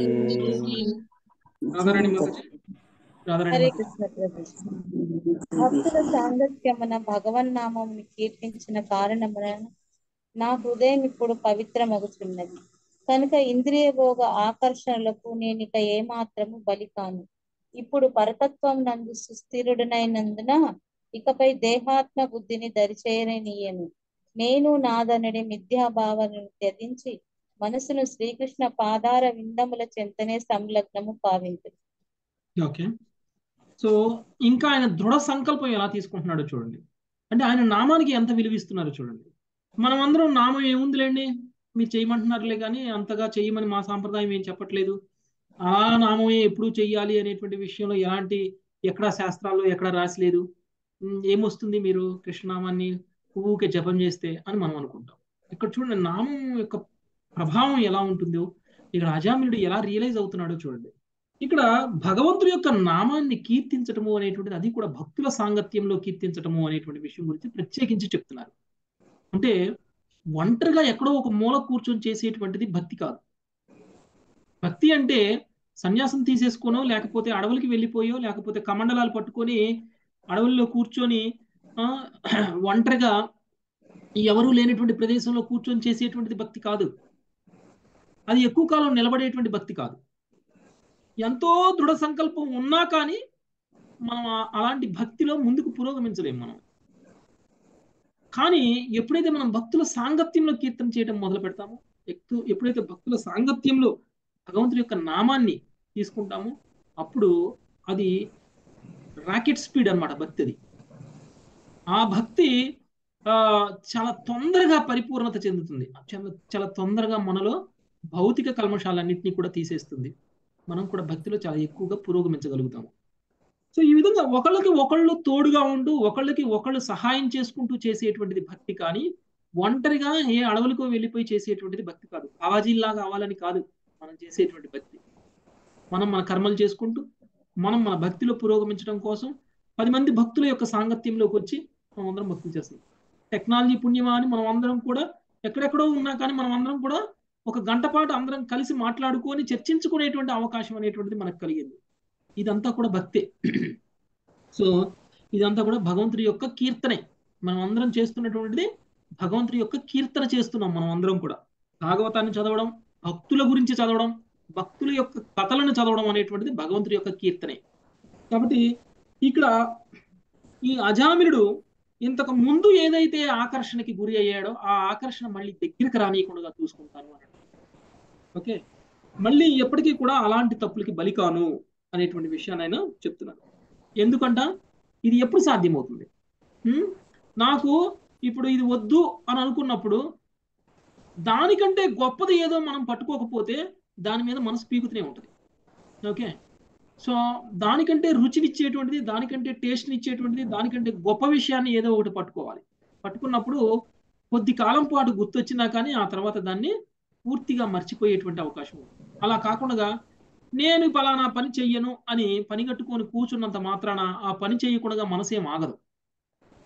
కాబట్టి ఆ పని ప్లేస్లో ఇంకొక పని చేయాలి అందుకనే ఇక్కడ అజామిలుడు చెప్తున్నాడు. ఇప్పుడు నేను పరతత్వంలో సుస్థిరుడనవుతాను పరతత్వంలో సుస్థిరుడను అవుతాను కాబట్టి నాకు వేరే అన్యమైనటువంటి లౌకిక విషయాల మీద తిరిగి మనసు పోదు అని అంటున్నాడు. అంటే రీప్లేస్ చేస్తున్నాడు. కోరికలు ఉంటాయి. ఆ కోరికలని మార్చుకుంటున్నాడు. భౌతికమైనటువంటి కోరికలని ఆధ్యాత్మిక కోరికలుగా మార్చుకుంటున్నాడు. భౌతికమైనటువంటి విషయాలను ఆధ్యాత్మికమైనటువంటి విషయాలుగా మార్చుకుంటున్నాడు. అలా మార్చుకోకుండా నేను ఈ భౌతికమైన విషయాల వల్ల పతనం చెందాను కాబట్టి ఈ భౌతికమైనటువంటి విషయాలు చెయ్యను అని కూర్చున్నాడు అనుకోండి. దానివల్ల ఏదో ఒక రోజు మళ్ళీ ఆ భౌతికమైనటువంటి విషయమే ఆకర్షిస్తుంది మళ్ళీ పతనం చెందేటువంటి అవకాశం ఉంది. కాబట్టి దాన్ని రీప్లేస్ చేయాలి. భక్తి అంటే అదే. ఒక్కొక్క భౌతికమైనటువంటి కర్మని ఆధ్యాత్మికమైనటువంటి కర్మతో కర్మగా మార్చేయాలి. అప్పుడు మనము పూర్తిగా ఆధ్యాత్మికంగా మారేటువంటి అవకాశం ఉంటుంది. అందుకని ఇప్పుడు అజామిలుడు ఏమంటున్నాడు? ఎంతకాలంగా నేను చేస్తున్నటువంటి లౌకిక కర్మలు ఏవైతే ఉన్నాయో ఏదైతే నన్ను ఇక్కడ బంధించి వేసిందో ఏదైతే నన్ను అపవిత్రుడిగా మార్చిందో ఆ అపవిత్రమైనటువంటి కర్మలన్నింటినీ కూడా పవిత్రమైనటువంటి కర్మలతోటి నేను రీప్లేస్ చేస్తాను. అప్పుడు నేను పూర్తిగా ఆధ్యాత్మికంగా దృఢంగా ఉండగలుగుతాను అనేటువంటి విషయం ఇక్కడ చెప్తున్నాడు ఇది మనం ఈ యొక్క శ్లోకంలో అజామిలుడు చెప్పినటువంటి విషయం నుంచి మనం అర్థం చేసుకోవాల్సినటువంటి విషయం. అది ఎప్పుడు సాధ్యమవుతుంది అని అంటే వేశ్య యొక్క సేవ నుంచి వదిలేసి కృష్ణుడి యొక్క సేవలోకి రావాలి. అందుకని ఇక్కడ అంటున్నాడు చూడండి కృష్ణ పాదార వింధముల చెంతనే సంలగ్నము కావిస్తాను నేను. అంటే ఆయన భౌతికమైనటువంటి కోరికల్ని ఆధ్యాత్మికమైనటువంటి కోరికలుగా మార్చేశాడు. ఓకే చదవండి మాతాజీ. భాష్యం. ఏ విధముగా జీవుడు భౌతిక పరిస్థితికి బలీయమగునడిన విషయము ఈ శ్లోకం స్పష్టంగా వివరింపబడినది. దేహమునే ఆత్మే అని భావించుట దానికి ఆరంభమని చెప్పవచ్చును. కనుకనే జీవుడు దేహము కాదని అతడు దేహం నందున్నాడని తెలియజేసేది ఆధ్యాత్మిక ఉపదేశముతోనే భగవద్గీత ఆరంభమగును. కృష్ణ నామమునంటే హరే కృష్ణ మహామంత్రమును జపించుచు సదా భక్తుల సాంగత్యమున నెలకొనినప్పుడే మనుజుని కట్టి చిత్తము సాధ్యపడును. విజయ రహస్యం ఇదియే. కనుకనే ప్రతి ఒక్కరు కృష్ణనామంనే జపించవలెనని భౌతిక జగత్తు యొక్క కల్ముషములకు ముఖ్యముగా అక్రమ సంబంధము మాంస మాంసభక్షము మత్తు పదార్థాల స్వీకారము జూదము దూరముగా నుండవలనని నేను నొక్కి చెప్పుచున్నాను. ఎల్లలు ఎల్లరూ దృఢ నిశ్చయముతో ఈ నియమ పాలనను పావించుచు భవక్లేశముల నుండి బయటపడవచ్చును. దేహాత్మ భావాల నుండి బయటపడే దానికి మొట్టమొదటి ఆవశ్యకత. హరే కృష్ణ. సో మొదటి మెట్టు అనమాట ఆధ్యాత్మికంగా పురోగమించాలి అని అంటే మొదటి మెట్టు ఏమిటి అని అంటే నేను భౌతికం కాదు అనేటువంటి విషయం తెలుసుకోవాలి. మనం ఎవరం కూడా ఈ శరీరం కాదు అనేటువంటి విషయం తెలుసుకోవాలి. మనం అందరం కూడా ఈ శరీరంలో ఉన్నాము అనేటువంటి విషయాన్ని తెలుసుకోవాలి. ఎప్పుడైతే ఇది తెలుసుకుంటామో అప్పుడు మనం ఆధ్యాత్మికంగా ఒక్క మెట్టు ఎక్కినట్టు అంటే చాలా మంది ఆత్మ జ్ఞానాన్ని తెలుసుకుంటే సరిపోతుంది అని అనుకుంటారు. ఆత్మజ్ఞానం అనేటువంటిది మొదటి మెట్టు. అంటే ఎప్పుడైతే నేను ఈ శరీరం కాదు నేను ఆత్మ అని తెలుసుకుంటామో అక్కడ మన ఆధ్యాత్మిక జర్నీ అనేటువంటిది స్టార్ట్ అవుతుంది. అందుకనే మనకి శ్రీకృష్ణ భగవానుడు భగవద్గీతలో మొదటి అధ్యాయంలోనే ఆత్మజ్ఞానం ఇవ్వడం అనేటువంటిది మొదలు పెట్టారు ఆయన మాట్లాడటం మాట్లాడటమే ఆత్మజ్ఞానంతోనే మాట్లాడారు. మొదటి అధ్యాయం అని అంటే ఇక్కడ మొదటి అధ్యాయం అని అంటే అంత అర్జునుడి విషాద కాద దాన్ని అసలు యాక్చువల్గా భగవద్గీత అనరు. భగవద్గీతలో మొదటి అధ్యాయం భగవద్గీత కాదు. కృష్ణుడు ఎక్కడ మాట్లాడటం మొదలు పెట్టారో అది భగవద్గీత. ఓకే? ఈ భగవద్గీత మాట్లాడడానికి సన్నివేశం ఏదైతే ఉందో అది మొదటి అధ్యాయం. అంటే మాట్లాడేటువంటి అవ అవసరాన్ని సృష్టింపబడింది అనమాట మొదటి అధ్యాయంలో. కాబట్టి అది భగవద్గీత అవదు అది మొదటి అధ్యాయం అనేది ఓన్లీ అది ఒక దాన్ని ఏమంటారంటే మనము ఒక సన్నివేశం. ఈ సన్నివేశం కనుక లేకపోతే భగవద్గీత చెప్పేటువంటి అవకాశం రాదు. ఆ అవకాశాన్ని సృష్టించడం అనేటువంటిది ఏదైతే ఉందో అది మొదటి అధ్యాయం. కాబట్టి రెండవ అధ్యాయం ఏదైతే ఉందో అది నిజమైనటువంటి భగవద్గీత. అక్కడ మొదలవుతుంది. అందుకని కృష్ణుడు మాట్లాడుతూ మొదటగా ఏం మాట్లాడారు? ఆత్మజ్ఞానం మాట్లాడారు. ఆత్మవు నువ్వు నువ్వు శరీరానికి కాదు. ఆత్మ యొక్క సనాతనమైనది ఇలా శరీరం లాగా టెంపరీ కాదు. అశాశ్వతమైనది కాదు. ఆత్మ లక్షణాలని తెలియచేశారు. సో ఏ విధంగా ఆత్మ భగవంతుడి యొక్క అంశ అనేటువంటి విషయాన్ని తెలియచేశారు. ఈ విధంగా ఆత్మజ్ఞానం తెలుసుకున్నటువంటి వ్యక్తి ఆ తరువాత భక్తి యోగంలోకి వెళ్తాడు. ఎందుకంటే ఈ శరీరం నేను కాదు అని తెలుసుకున్న తరువాత ఈ శరీరానికి సంబంధించినటువంటి సుఖాల కంటే ఆత్మ శాశ్వతమైనదని తెలుసుకున్న తర్వాత ఆత్మకి సంబంధించినటువంటి సుఖాల మీద ఎక్కువగా ఫోకస్ ఉంటుంది. ఆ సుఖం అనేటువంటిది భగవంతుడి యొక్క నామ కీర్తనతోటి మాత్రమే వస్తుంది అనేటువంటి విషయాన్ని తెలుసుకుంటాడు. అందుకనే హరే కృష్ణ మహామంత్రం వరకు కూడా తీసుకెళ్తారు. కృష్ణుడు రెండవ అధ్యాయం చెప్పిన తర్వాత డైరెక్ట్గా భక్తి యోగం చెప్పలేదు. ఎందుకంటే ఈ నువ్వు ఈ శరీరం కాదు అని చెప్పిన తర్వాత ఈ శరీరానికి కానటువంటి అంటే కర్మలు ఏదైనా చేస్తే ఈ శరీరానికి కాకుండా ఆత్మకు ఉపయోగపడే ఇలాంటి కర్మలు ఎలా చేయాలి అనేటువంటి విషయం చెప్పారు. ఆ తర్వాత భక్తిలోకి తీసుకెళ్ళారు. అంటే భగవంతుడు ప్లాన్డ్గా ఒక సిస్టమేటిక్గా భక్తిని ప్రజెంట్ చేశారు భగవద్గీతలో. తన యొక్క ఉన్నతత్వాన్ని స్థాపించారు. కృష్ణుడు గొప్పతనాన్ని ఆయన ఏ విధంగా స్థాపించారు భగవద్గీతలో అంటే ఒక ప్లాన్డ్గా ఒక ఒక్కొక్క అడుగు వేస్తూ కొంచెం కొంచెంగా మనల్ని ఆధ్యాత్మికత వైపు తీసుకెళ్తూ చివరికి నేను దేవాది దేవుణ్ణి. నాకే శరణు వేడుకోవడమే అంతిమమైనటువంటి మార్గము అనేటువంటి విషయాన్ని చాలా స్లోగా ఎస్టాబ్లిష్ చేశారు. ఇది మనం కూడా మనం కూడా ఉద్యోగాలు చేస్తున్నాము మనం కూడా వ్యాపారాలు చేస్తున్నాము మనం కూడా మన దగ్గరికి కస్టమర్లు వస్తారు. ఎలా మాట్లాడాలి? కస్టమరు మన దగ్గరికి వచ్చి మన దగ్గర మనం అమ్మేటువంటి వస్తువుని కొనాలి అని అంటే మనం ఎక్కడ మొదలు పెట్టాలి ఎక్కడ ఎండ్ చేయాలి ఏ విధంగా మాట్లాడాలి ఏ విధంగా మాట్లాడితే కస్టమర్ కన్విన్స్ అవుతాడు? దీని అన్నిటికీ మనకి కొన్ని ప్లానింగ్స్ ఉంటాయి. వచ్చినోడికి ఫస్టే మనం ఏదో అడ్వాన్స్డ్ లెవెల్ మాటలు మాట్లాడామనుకోండి మనకి ఏం అర్థం కాదు. నువ్వు ఏదో మాట్లాడావు నాకేదో అర్థం కాలేదని చెప్పేసి వాడు కొంటాడో కొనడో వెళ్ళిపోతాడు. కానీ కొనే విధంగా మాట్లాడాలి అని అంటే ముందు అవతల వ్యక్తి యొక్క మనస్తత్వాన్ని అర్థం చేసుకోవాలి. అవతల వ్యక్తి యొక్క మనోస్థితిని కూడా అర్థం చేసుకోవాలి. స్థితిని అర్థం చేసుకుని వాడికి సంబంధించిన వాడు అట్రాక్ట్ అయ్యేటువంటి మాటలు మాట్లాడాలి ముందు మన షాపులో ఒక ఐదు నిమిషాలు నిలబెట్టాల. ఐదు నిమిషాలు నిలబెట్టాలి అని అంటే మనం మాట్లాడే మాటలు ఆయన నిలబడేలాగా ఉండాలి. అలా నిలబడేలాగా ఉంచి ఆ తర్వాత అసలు విషయంలోకి తీసుకెళ్ళాలి. నువ్వు డైరెక్ట్గా అసలు విషయం మాట్లాడితే వింటాడో వినడో. ఇంట్రెస్ట్ ఉందో ఇంట్రెస్ట్ లేదో. ఆ ఇంట్రెస్ట్ క్రియేట్ చేయాలి ఫస్ట్ ఆ విధంగా కృష్ణుడు కూడా భక్తిని చాలా గొప్పగా ప్రజెంట్ చేశారు భగవద్గీతలో. భక్తిని ఎస్టాబ్లిష్ చేశారు. ఇంకా భగవంతుడి యొక్క గొప్పతనాన్ని కూడా ఎస్టాబ్లిష్ చేశారు. చాలా గొప్పగా భగవద్గీతను మనకి బోధించడం అనేటువంటిది జరిగింది. సో ఇది సో భక్తిలో మనము ముందుకు వెళ్ళాలి అని అంటే ఈ నియమ నిబంధనలన్నింటినీ కూడా తప్పకుండా పాటించాలి అని శిల ప్రభుపాదుల వారు మనకి తెలియజేస్తున్నారు. అందులో మొదటిది ఇప్పుడు అజామిలుడు ఉన్నటువంటి పరిస్థితి లాంటి పరిస్థితులకు మనం వెళ్ళకుండా ఉండడం. అంటే అక్రమ సంబంధాలు. అక్రమ సంబంధాలు వదిలేయడము అనేటువంటిది భక్తిలో మొట్టమొదటి నియమం. ఇది వదిలేయకపోతే మనము శుచిత్వాన్ని కోల్పోతాం. శుచిత్వాన్ని కోల్పోయినటువంటి వ్యక్తి భక్తిలో పురోగమించడు. కాబట్టి ఈ అక్రమ సంబంధము మాంస భక్షణము మత్తు పదార్థ స్వీకారము జూదము అనేటువంటివి నాలుగు కూడా ధర్మం యొక్క నాలుగు పాదాలని కూడా కూల్చివేసేటువంటి అధర్మయుతమైనటువంటి కర్మలు. కాబట్టి ఈ నాలుగు అధర్మయుతమైనటువంటి కర్మలను గనక మనం గనక చేయకుండా ఉన్నాము అని అంటే సంకల్పం తీసుకొని గనక ఇవి చేయకూడదు అని అనుకుంటే మనలో ధర్మం పునఃస్థాపించబడుతుంది. మనలో ధర్మం పునఃస్థాపించబడినప్పుడు అప్పుడు మనకు తెలుస్తుంది విచక్షణ. మనము కృష్ణ భక్తిని ఎలా చేయాలి అనేటువంటి విషయం అప్పుడు మనకి ఈజీగా తెలుస్తుంది. అందుకనే కృష్ణ చైతన్యంలో మనకు ఉన్నటువంటి నియమ నిబంధనలు ఈ నాలుగు అనేటువంటివి చాలా మస్ట్. అది మనకు ప్రభుపాదుల వారు విధించినటువంటి నియమాలు. అలా చేస్తేనే మనము దేహాత్మ భావం నుంచి బయటపడతాము. ఇది జాత సునిర్వేద. ఇది క్షణ సంఘేన సాధుగా సాధుషు.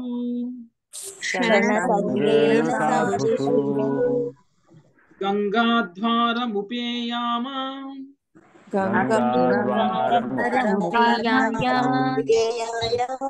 ముక్త సర్వానుబంధన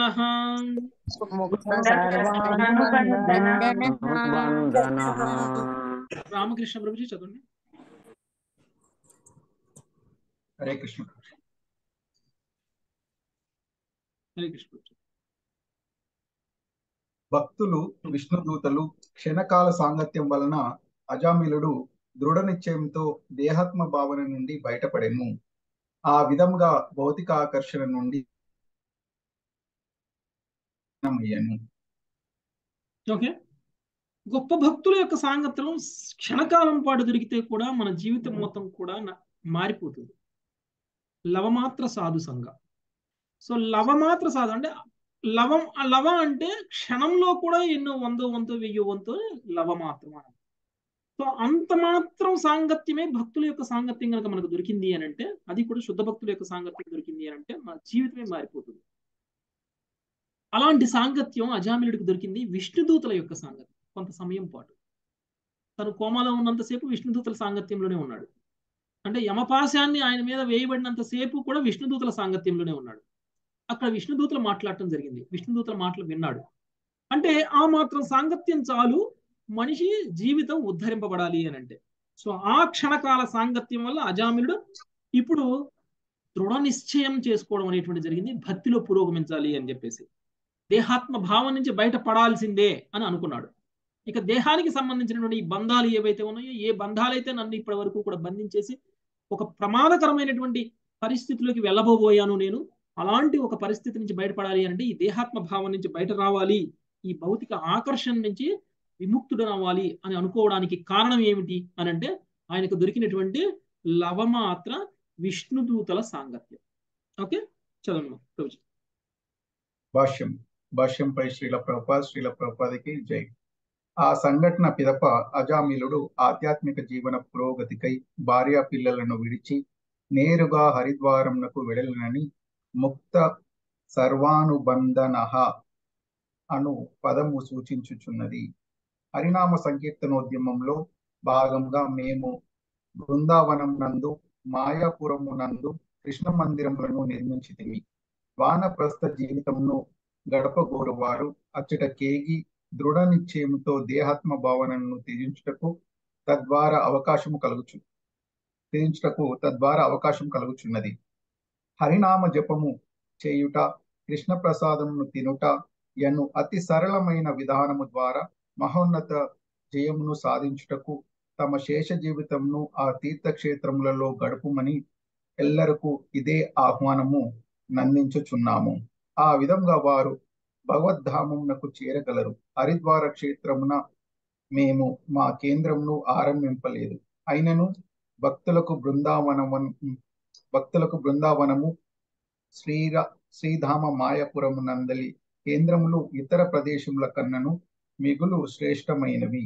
మాయాపురం నందలి మాయాపురం నందలి చైతన్య చంద్రోదయ మందిరము భక్తజన సాంగత్యమునకు చక్కని అవకాశం నొసగలదు ఎల్లరూ ఆ అవకాశంను సద్వినియోగపరుచుకోగల కొందరు గాక సో ఇప్పుడు అజామిలుడు తన భార్య పిల్లల్ని వదిలేసి వానప్రస్థం తీసుకోవడం అనేటువంటిది జరిగింది. వానప్రస్థం ఎందుకు తీసుకుంటారు?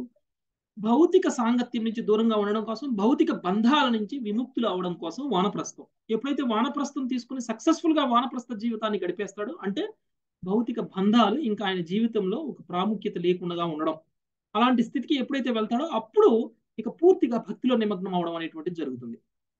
దాన్ని పూర్తి వైరాగ్యంతో సన్యాసం చేయడం అనేటువంటి విషయాన్ని చెప్తారు అయితే మనకి ఇలాంటి వానప్రస్థం తీసుకోవడానికి అనువైనటువంటి వాతావరణం కలిగినటువంటి భక్తి చేసుకోవడానికి వీలైనటువంటి ప్రదేశాలు చాలా అరుదుగా ఉన్నాయి ఇప్పుడు కలియుగంలో. అందుకనే ప్రభుపాదుల వారు ఏం చెప్తున్నారు అని అంటే ఇప్పుడు ఆయన హరిద్వార్ వెళ్ళాడు. మనం కూడా హరిద్వార్ వెళ్తే ఆయన చేయగలిగినంత భక్తిని మనం సాధించగలమా ఇప్పుడు? అంటే చేయలేము. ఎందుకంటే అప్పుడు ఉన్నటువంటి హరిద్వార్ వేరు ఇప్పుడు ఉన్నటువంటి హరిద్వార్ వేరు. అప్పుడు అక్కడ అందరూ సాధువులు ఉండేవాళ్ళు. ఇప్పుడు సాధువులు ఉన్నారా అంతగా? మనం అక్కడికి వెళ్తే మనల్ని భక్తిలో పురోగమించేలా చేయగలరా? తెలియదు కానీ ఇక్కడ ఏం చెప్తున్నారు అని అంటే బృందావన్ మాయాపూర్ లాంటి ప్రదేశాలలో కృష్ణ మందిరాలు నిర్మించడం అనేటువంటి జరిగింది. మనం వానప్రస్థ జీవనం కనుక మనం ప్లాన్ చేసుకోవాలి అని అంటే బృందావన్ మాయాపూర్కి వెళ్ళి ప్లాన్ చేసుకోవచ్చు. అక్కడ వెళ్తే హండ్రెడ్ పర్సెంట్ భక్తి అనేటువంటి పెరుగుతుంది. ఎందుకంటే అక్కడ అంతా కూడా అంటే మనం వానప్రస్థం ఎక్కడికి వెళ్ళి తీసుకోవాలి? హరే కృష్ణ మాతాజీ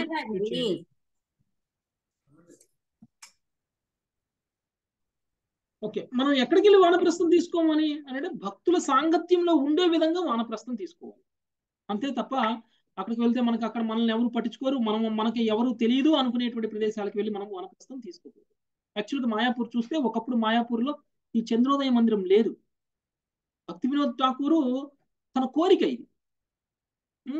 భక్తి వినోద్ ఠాకూరు తన ఇంట్లో ఉండి ఆయన తన కొడుక్కి భక్తి సిద్ధాంత సరస్వతి ఠాకూర్కి తన ఇంట్లో ఉన్నటువంటి కిటికీలోంచి ఒక ప్రదేశాన్ని చూపించి ఆ ప్రదేశంలో రాబోయే తరాల్లో కృష్ణ మందిరం రాబోతుంది కృష్ణుడు అక్కడికి రాబోతున్నాడు అనేటువంటి విషయాన్ని అప్పుడే చెప్పేశాడు. అంటే విజన్ అది. అంటే భక్తి వినోద్ ఠాకూర్ వారి యొక్క ఆలోచన ఏదైతే ఉందో ఆలోచనకు అనుగుణంగానే అక్కడ కృష్ణ మందిరం అనేటువంటిది రావడం అనేటువంటిది జరిగింది. ప్రభుపాదుల వారు అక్కడ కృష్ణ మందిరం నిర్మించడం అనేటువంటి దానికి చాలా ప్రాముఖ్యతనిచ్చారు. అది ఆయన కళ కూడా. అందుకనే చాలా సమయం పాటు ఆయన మాయాపూర్లో కూడా ఉన్నారు. మాయాపూర్లో కూడా ఆయన కృష్ణ మందిరాన్ని స్థాపించడం అనేటువంటిది జరిగింది. ఆ తర్వాత మన గురు మహారాజు దాన్ని మళ్ళీ నెక్స్ట్ లెవెల్కి తీసుకెళ్ళి ఇప్పుడు అక్కడ అక్కడ ఉన్నటువంటి పాత మందిరం ఏదైతే ఉందో ఆ పాత మందిరం ప్లేస్లోనే ఇప్పుడు కొత్తగా మందిరాన్ని మాయాపూర్లో చంద్రోదయ మందిరం అనేటువంటిది కట్టడం అనేటువంటి జరిగింది. దాన్నే వేదిక్ ప్లానిటోరియం అని అంటారు. సో అక్కడికి లక్షలలో జనాలు వస్తారు భవిష్యత్తులో. అక్కడ కట్టినటువంటి ఫెసిలిటీ కూడా అలానే కడుతున్నారు. ఇప్పటికే చాలా మంది వస్తున్నారు. ఆ ఫెసిలిటీ కూడా అంటే ఆ కొత్త మందిరం కూడా నిర్మింపబడితే ఇంకా వేలల్లో లక్షల్లో జనాలు ప్రతిరోజు రావడం అనేటువంటిది జరుగుతుంది. సో అలాంటి ఒక ప్రదేశానికి వెళ్తే ఎవరిని కదిలించినా భక్తుడే ఎవరితో మాట్లాడినా భక్తుడే. మనం అందుకనే ఎందుకు మనం వృందావనం మాయాపూర్ లాంటి ప్రదేశాల్లో ఉంటే ఎందుకు ఉద్ధరింపబడతాము అని అంటే అక్కడ ఎవరు నిన్ను పేరు పెట్టి పిలవరు. అక్కడ ఎవరు కూడా ఫలానా రమేష్ ప్రభు రమేష్ అని శ్రీలత అని పేరు పెట్టి పిలవరు. అక్కడ ఎవరైనా సరే హరే కృష్ణ అని పిలుస్తారు. నోరు తెరిస్తే భగవంతుడి యొక్క నామమే వస్తుంది. మనకి ఇష్టం ఉన్నా ఇష్టం లేకపోయినా భగవంతుడి నామమే మన నోట్లో నుంచి వస్తుంది. అంతకు మించినటువంటి భక్తి ఇంకేముంటుంది? ఉండదు. బృందావనం వెళ్ళినా కానీ మనకి ఇష్టం లేకపోయినా కానీ మనం అక్కడికి వెళ్ళి రాదే రాదే అనాలి. మనల్ని పిలిచినా కానీ హే రాదే తప్పుకో అంటారు. ఆటోలో వెళ్ళేవాడు కూడా ఆటో వాడికి మనం అడ్డం అయితే ఆటో వాడు ఏం పిలుస్తాడు మళ్ళీ? ఏమని పిలుస్తాడు మనల్ని? రాదే రాదే తప్పుకో రాదే అంటాడు. సో ఆ విధంగా. అంటే భగవంతుడి నామం తప్ప మనకి ఇంకేమీ రాదు. అలాంటి పుణ్యక్షేత్రాల్లో ఉంటుంది అది భక్తిలో పురోగమించడానికి ఉపయోగపడుతుంది తప్ప మనం వేరే ఏదో ఒక ప్లేస్కి వెళ్ళిపోయాము ఒంటరిగా ఉన్నాము అని అంటే మాత్రం మనకి భక్తి అనేటువంటిది రాదు. అందుకనే అజామిలుడు కూడా అందుకనే అజామిలుడు కూడా ఆయన ఇంటిని వదిలేసి హరిద్వార్ వెళ్ళిపోయి అక్కడ భక్తిని సాధన చేయటం అనేటువంటిది జరిగింది. ఓకే? ఇక్కడ చైతన్య చంద్రోదయ మందిరం ఇప్పుడు అక్కడ అక్కడ వానప్రస్థ తీసుకున్న వాళ్ళు అక్కడ ఉంటారా ప్రభుజీ? ఉంటారు చాలా మంది చాలా మంది ఇప్పుడు మాయాపూర్ వెళ్ళిపోయి అక్కడే సెటిల్ అయిన వాళ్ళు చాలా మంది ఉన్నారు ఎస్ యాభై సంవత్సరాలు అరవై సంవత్సరాలు దాటిన తర్వాత రిటైర్మెంట్ అయిపోయిన తర్వాత ఇంకా నాకంటూ ఏమి బాధ్యతలు లేవు అనుకున్నటువంటి వాళ్ళు భక్తిలో సీరియస్గా ఉన్నటువంటి వాళ్ళు తప్పకుండా మాయాపూర్ వెళ్ళి సెటిల్ అయిన వాళ్ళు నాకు తెలిసిన వాళ్ళే చాలా మంది ఉన్నారు బృందావనంలో కూడా అంతే ప్రభు. చాలా మంది వెళ్ళిన వాళ్ళు వెనక్కి రాకుండా అక్కడే ఉండిపోతారు. అక్కడే ఇప్పటి నుంచి కూడా ప్లాన్ చేసుకుంటున్నారు అక్కడ ఒక ఇల్లు కొనుక్కోవడం. వానప్రస్థ జీవితంలో అక్కడ అక్కడ ఆ ఇంట్లో ఉండాలి అని అనుకోవడం. అక్కడికి వెళ్ళి అక్కడ మనకి ఇప్పటి నుంచే ఏర్పాట్లు చేసుకునేటువంటి వాళ్ళు కూడా చాలా మంది ఓకే? ఓకే స తస్మిన్ దేవ సదనా ఆసీనో యోగమాస్థితః ఆసీనో యోగమాస్థితః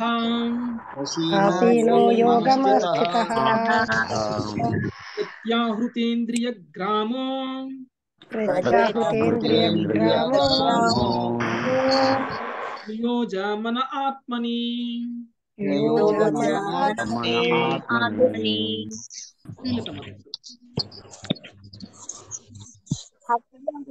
అజామిలు విష్ణు ఆలయమున నిలిచి భక్తి సాగించును.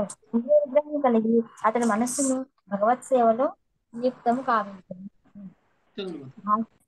మా కృష్ణ చైతన్యోద్యమున చేరిన భక్తులు మేము నిర్మించిన ఆలయములలో జీవించుచు చక్కగా భక్తితో చక్కగా భక్తిలో కొనసాగవచ్చును. ఆ విధముగా వారు మనస్సును ఇంద్రియములను నిగ్రహించి జీవితమున మహోన్నత జయమును సాధించగలరు.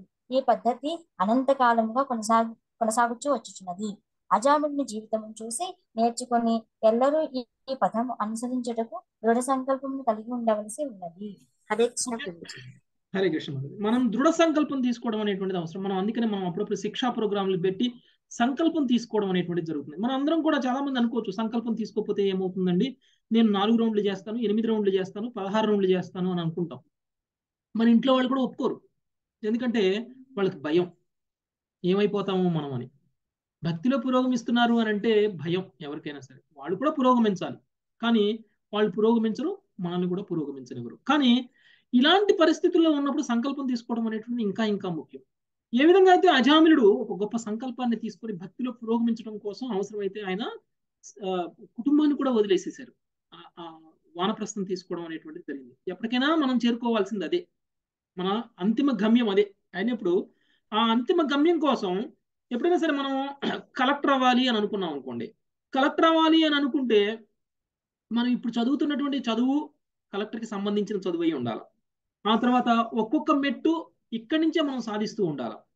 ఆ కలెక్టర్ గమ్యాన్ని చేరుకునే విధంగా మనం టెన్త్ స్టాండర్డ్ అయిపోయిన కాడి నుంచే మన యొక్క కోచింగ్ సెంటర్లకు వెళ్ళడం కోచింగ్లు తీసుకోవడం దానికి మళ్ళీ ఎంట్రన్స్ టెస్టులు రాయడం కాలేజీల్లో సీట్ సంపాదించడం ఆ తర్వాత మళ్ళీ సివిల్స్ రాయడం ఇవన్నీ కూడా ఎందుకు చేస్తాము? అంటే ఒక పెద్ద గోల్ రీచ్ అవ్వడానికి చిన్న చిన్న గోల్స్ పెట్టుకుంటాం మనం. ఒక్కొక్క చిన్న చిన్న గోల్ దాటుకుంటా పోతే అప్పుడు పెద్ద గోల్ని మనం అచీవ్ చేసినట్లు అవుతుంది. ఆ విధంగా మనం భక్తిలో పురోగమించాలి అని అంటే చిన్న చిన్న చిన్న చిన్న సంకల్పాలు తీసుకోవడం అనేటువంటిది చాలా ఇంపార్టెంట్ ఈ రోజు నాలుగు రౌండ్ల దీక్ష తీసుకోవాలి అనేటువంటిది ఒక సంకల్పం. లేకపోతే వన్ రౌండ్ అన్నా నేను రోజుకి చేయాలి అనుకునేది ఒక సంకల్పం. లేదంటే నాలుగు రౌండ్లు ఎనిమిది రౌండ్లు. ఈ విధంగా ఒక్కొక్కళ్ళు ఒక్కొక్క స్థాయిలో ఏమేమైతే చేయగలరో ఎంతైతే చేయగలరో ఆ విధంగా ఒక సంకల్పాన్ని తీసుకొని కొంతకాలం సాధన చేసిన తర్వాత నెక్స్ట్ లెవెల్కి వెళ్ళడము అనేటువంటిది ఇంపార్టెంట్ అక్కడే ఉండిపోవడం కాదు అక్కడే ఉండిపోయినా కానీ మనం ఏమీ సాధించినట్లేం కాదు.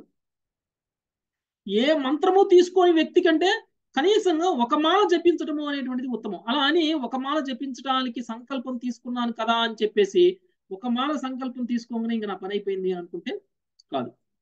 సో నెక్స్ట్ లెవెల్లో సంకల్పాలు అనేవి మళ్ళీ తీసుకోవాలి. చిన్న చిన్నగా చిన్న చిన్నగా పెద్ద పది మెట్లు ఎక్కాలంటే ఒక మెట్టు ఎక్కాలి ఫస్ట్. రెండు మెట్లు ఎక్కాలి తర్వాత. మూడు మెట్లు ఎక్కాలి. ఆ విధంగా పదవ మెట్టు వరకు చేరుకోవాలి. ఆ విధంగా మన సంకల్పాలు కూడా చిన్నగా చిన్నగా పెంచుకుంటూ పోవాలి. మన సాధన కూడా కొంచెం కొంచెం కొంచెం కొంచెంగా పెంచాలి.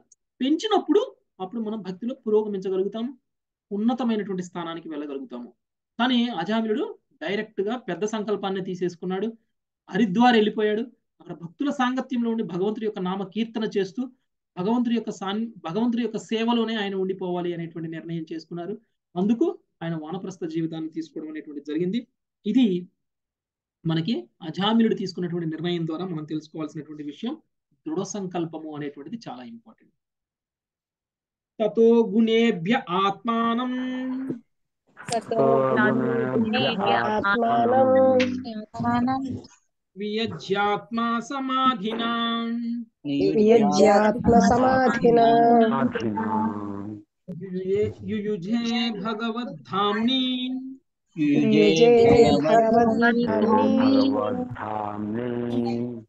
బ్రహ్మణ్యానుభవాత్మని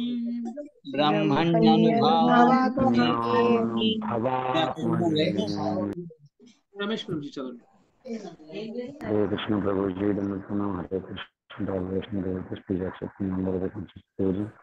అజామిలుడు పూర్తిగా భగవత్ సేవలో నెలకొనిన వాడు ఆ విధముగా మనస్సును ఇంద్రియ భోగం నుండి మరలించి అతడు భగవద్రూప ధ్యానమందే సంపూర్ణముగా లగ్నమయ్యింది ఫ్రెష్గా పెట్టుకోండి.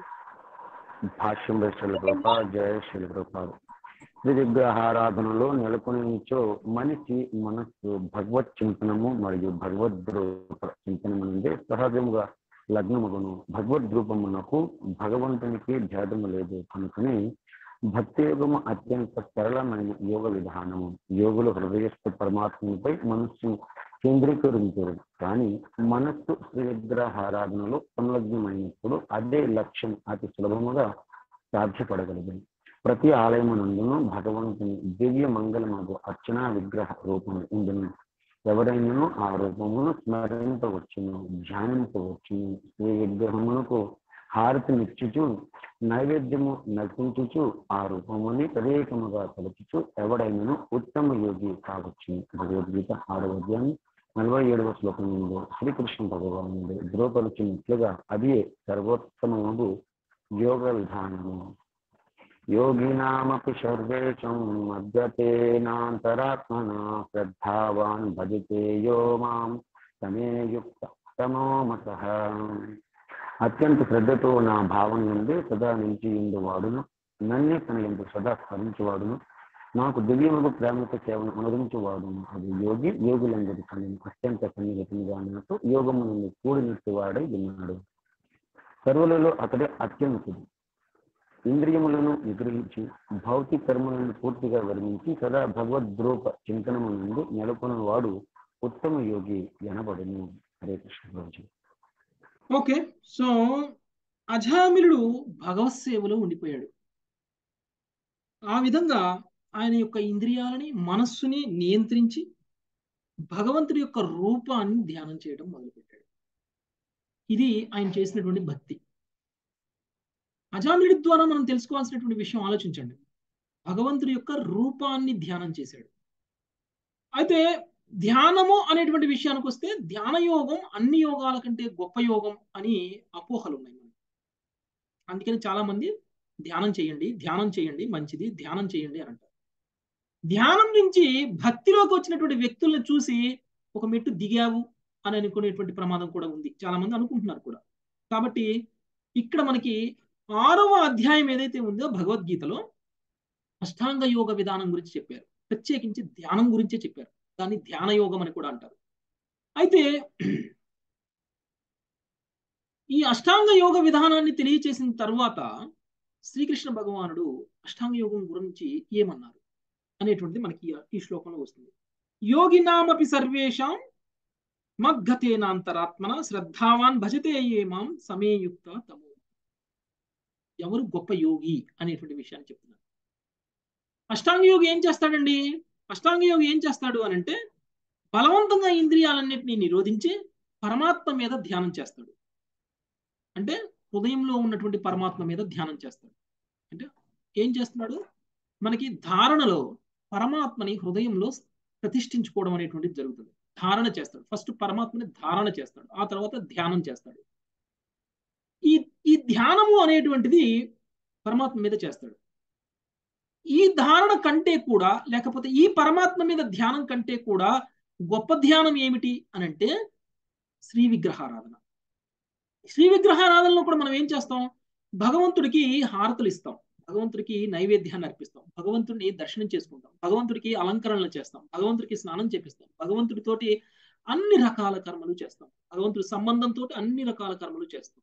అంటే భగవంతుడి చింతనలోనే ఉంటాం భగవంతుడి విగ్రహాన్ని చూస్తూనే ఉంటాం భగవంతుడి విగ్రహాన్నే ధ్యానం చేస్తూ ఉంటాం. ఇది గొప్ప ధ్యానం. ఒంటరిగా ఏదో అడవులకి వెళ్ళిపోయి కూర్చుని పరమాత్మ ధ్యానం చేయటం కంటే కూడా గొప్ప ధ్యానం విఘ్నహారాధన అనేటువంటి విషయం చెప్తున్నారు. అందుకనే మనం మందిరాలకి వెళ్ళాలి. అందుకనే మనము ఒకవేళ మందిరాలకి వెళ్ళి భగవంతుడి యొక్క దర్శనం చేసుకోలేకపోతే కనీసంగా ఇల్లుగా ఇల్లు ఇల్లునే మందిరంగా మార్చుకుంటాం మన ఇల్లుని మందిరంగా మార్చుకున్నామంటే మనం పూర్తిగా అష్టాంగ యోగ విధానంలో చేసినటువంటి ధ్యాన ప్రక్రియ కంటే కూడా గొప్ప లాభాన్ని మనం పొందవచ్చు. మన ఇంట్లో విగ్రహాలు ఉంటాయి. మన విగ్రహాలకి మనం పూజలు చేస్తాం. మన విగ్రహాలకి నైవేద్యాలు ఇస్తాం. మన విగ్రహాలకి ఆరతులు ఇస్తాం. మన విగ్రహాలని క్షణక్షణం దర్శనం చేసుకుంటాం. మన విగ్రహాలకి సాష్టాంగ నమస్కారం చేస్తాం. ఈ విధంగా మన శరీరంతో మనసుతోటి ఆత్మతోటి తపస్సు చేస్తాం. ఈ విధంగా చేసినటువంటి ధ్యానం ఏదైతే ఉంటుందో ఈ ధ్యానానికి మించినటువంటి ధ్యానం ఏమి అష్టాంగ యోగం ద్వారా చేసేటువంటి సాధన కాదు అనేటువంటి విషయం మనకి కృష్ణుడే తెలియజేస్తున్నాడు. ఎలా? అంటే యోగులందరిలో గొప్ప యోగి ఎవరు అని అంటే ఎవరైతే సదా నా చింతనలో ఉంటారో వాళ్ళు యోగులందరిలో గొప్ప యోగి అనేటువంటి విషయం చెప్పారు. అంటే కృష్ణుడు క్లియర్గా చెప్తున్నాడు. భక్తి యోగి గొప్ప యోగి అనేటువంటి విషయం చెప్తున్నారు భక్తియోగి సదా ఆయన చింతనలో ఉంటాడు. భక్తియోగి ఎప్పుడు కూడా ఆయన యొక్క రూపాన్ని ధ్యానం చేస్తూ ఉంటాడు. ఆయన యొక్క సేవని ఇరవై నాలుగు గంటలు చేస్తూనే ఉంటాడు. అలాంటి వ్యక్తి కంటే కూడా సదా నన్ను స్మరించేటువంటి వ్యక్తి నాకు అత్యున్నతమైనటువంటి ప్రియుడు. అంటే అందరికంటే కూడా ఎక్కువ ఇష్టపడేవాడిని నేను అనేటువంటి విషయాన్ని క్లియర్గా ఆయనే చెప్పారు. అష్టాంగ యోగ విధానం మొత్తం చెప్పిన తర్వాత గొప్ప యోగి అష్టాంగ యోగి కాదు అని చెప్పారు. గొప్ప యోగి భక్తి యోగి అనేటువంటి విషయం చెప్పారు. కాబట్టి ఒకవేళ ఇంతకాలం మనం ధ్యానం చేసి ఈ రోజు హరే కృష్ణ మహామంత్రాన్ని జపం చేస్తూ భగవంతుడి యొక్క నామాన్ని తీసుకున్నటువంటి మనం ఒకవేళ ఒక మెట్టు దిగినట్టు ఎవరైనా అన్నా కానీ మనం ఏం భయపడాల్సిన పని లేదు. ఎందుకంటే కృష్ణుడే చెప్పేశాడు. కృష్ణ నామం తీసుకున్నటువంటి వాడు అష్టాంగ యోగి కంటే కూడా గొప్పవాడు అనేటువంటి విషయం. కాబట్టి మనం ఏం భయపడుతుండే మనం సరి అయినటువంటి సరి అయినటువంటి మార్గంలో మనం ఉన్నాం. ఓకే? మాతాజీ? మిగిలింది రేపు చదువుదాం హరే కృష్ణ వంశకల్పతరుభ్యశ్చ కృపా సింధుభ్య ఏవచ పతితానాం పావనేభ్యో వైష్ణవేభ్యో నమో నమో హరే కృష్ణ ఎవరికైనా ఏమైనా ప్రశ్నలు ఉంటే హరే కృష్ణ ప్రభుజీ హరే కృష్ణ ప్రభుజీ కృష్ణ ఒక ప్రభుజీ. చిన్న డౌట్ ప్రభుజీ చెప్పండి మాతాజీ అంటే ప్రభుజీ ఇక్కడ మాయ మాయాపూర్ కాకుండా ఇక్కడ బృందావన్లో పరిక్రమకి వెళ్ళినప్పుడు కూడా ప్రభుజీ అక్కడ అంతా ఆ గవర్నమెంట్ వాళ్ళు అక్కడ ప్లేసెస్ అన్ని నీట్గా చెయ్యొచ్చు కదా ప్రభుజీ. ఒకటి రెండోది ఏంటంటే ప్రభుజీ మన ఇస్కాన్ వాళ్ళే ఆ విలేజెస్ అంతా మనం తీసుకొని అలా కూడా చేస్తే బాగుంటుందేమో అనిపించింది ప్రభుజీ. అంటే మాతాజీ చాలా వరకు చేస్తున్నారు. ఇస్కాన్ లేకపోతే ఇప్పుడు బృందావనం ఇంకో రకంగా ఉండేది. ఆ, ఓకే ఇప్పుడు ఇస్కాన్ ఉండడం వల్ల బృందావనం ఇప్పుడు ఉన్నటువంటి షేప్ ఇంతకు ముందు లేదు. ఈవెన్ మాయాపూర్ అయినా సరే ఇస్కా బృందావనం అయినా సరే ఇస్కాన్ లేకముందు ఇస్కాన్ వచ్చిన తర్వాత ఉన్నటువంటి డిఫరెన్స్ మనం చూస్తే అర్థమైపోతుంది. ఓకే. సో ఇదంతా కూడా జరుగుతూనే ఉంది మాతాజీ. కానీ ఎంతని ఆ ప్రభుత్వం ఇది లేకుండా ఎంతని ఒక సంస్థలాగా లేకపోతే ఒక ఆర్గనైజేషన్ లాగా చేయడం అనేటువంటిది అది ఒక లిమిట్ వరకు చేయగలుగుతారు. ఇంకోటి ఏంటంటే విలే ఇవన్నీ కూడా చాలా పాత ప్లేసెస్ మళ్ళీ రీకన్స్ట్రక్ట్ చేయడం సాధ్యం కనీసము గవర్నమెంట్ వాళ్ళు ఇంత భక్తులు వస్తున్నారు అనేసి కొంచెం బేసిక్ ఫెసిలిటీస్ అక్కడ ఇచ్చినుంటే ఇదైతుండే మా ప్రభుజీ. మేము బృందావన్ పరిక్రమని నేను ఇక్కడ కింద అంతా కళ్ళు మూసుకొని ఉట్టి గోవర్ధన గిరిని మాత్రమే చూసుకుంటూ వెళ్ళాను ప్రభుజీ. అంటే ఇక్కడ పక్కలకి నా దృష్టి వెళ్ళకుండా అంటే అంటే అంత అందంగా ఉంది ప్రభుజీ. నేను ఇటు సైడే చూడలేదు ఇంకా. ఆ మట్టి కానివ్వండి కొండలు కానివ్వండి అవన్నీ చాలా మీరు ఏమేమి చెప్తూ ఉంటారు కదా ప్రభుజీ ఉట్టి అది మాత్రమే ఊహించుకున్నాను. ఎప్పుడు దేవుడా వీళ్ళకి కూడా కొంచెం బుద్ధి ఇచ్చేసి గవర్నమెంట్ వాళ్ళు ఇంకా బాగా చేయాలి ఏం పర్లేదు మాతాజీ బృందావనంలో పుట్టిన ప్రతి ఒక్కళ్ళు భక్తులే. ఆ ప్రభుజీ. ఎవ్రీబడి భక్తులే. మనము ఎవరి గురించి మనం లేదు ప్రభుజీ ప్లేస్ అంటున్నాను ప్రభుజీ. అక్కడ వాళ్ళు నీట్గా పెట్టట్లేదు అన్ని కాదు నీట్నెస్ గురించి ఆలోచించకూడదు. బృందావనం వెళ్ళినప్పుడు. బృందావనం అంటే మనం చూసేటువంటి అదే మనం ఒక సందర్భంలో కూడా చెప్పుకుంటాము. బృందావనం అంటే అక్కడ ఉన్నటువంటి మురికి వాడలు కాదు లేకపోతే అక్కడ ఉన్నటువంటి మురికి కాలువలు కాదు. బృందావనం అంటే భక్తి బృందావనం అంటే కృష్ణుడు. ఓకే? సో అవన్నీ ఉంటాయి మాతాజీ అన్ని చోట్ల ఉంటాయి. సో వాటి గురించి మనం గవర్నమెంట్ ప్రభుజీ మీరు పొద్దున్న కూడా చెప్పారు కదా ప్రభుజీ ఇప్పుడు మనం భక్తిలో ఇప్పుడు భౌతికతలో ఉండే చాలా ఛాలెంజింగ్స్ ఫేస్ చేస్తా ఉన్నాం కదా ప్రభుజీ. అలాంటిది నిజమైన భక్తులు అయినాక ఇవన్నీ తగ్గిపోతాయా ప్రభుజీ? వీటి మీద మనకి మనసు కూడా పోదు. వీటి మీద ఆలోచించి అన్నారు కదా. నేను ఇటువైపు చూడలేదు ప్రభుజీ. ఇటే చూసుకుంటూ వెళ్ళాను. భక్తిలో మనం పురోగమించిన కొద్దీ మనం ఏది చూడకూడదు ఏది చూడాలి అనేది మనకు ఆటోమేటిక్గా తెలుసు. Prabhuji. Hare Krishna Prabhuji. Hare Krishna Mataji. Thank you very much ఎవరికైనా ఏమైనా ప్రశ్నలు ఉంటే తీసుకుందాం. అంటే కనుక సెషన్ ముగిద్దాం మాతాజీ.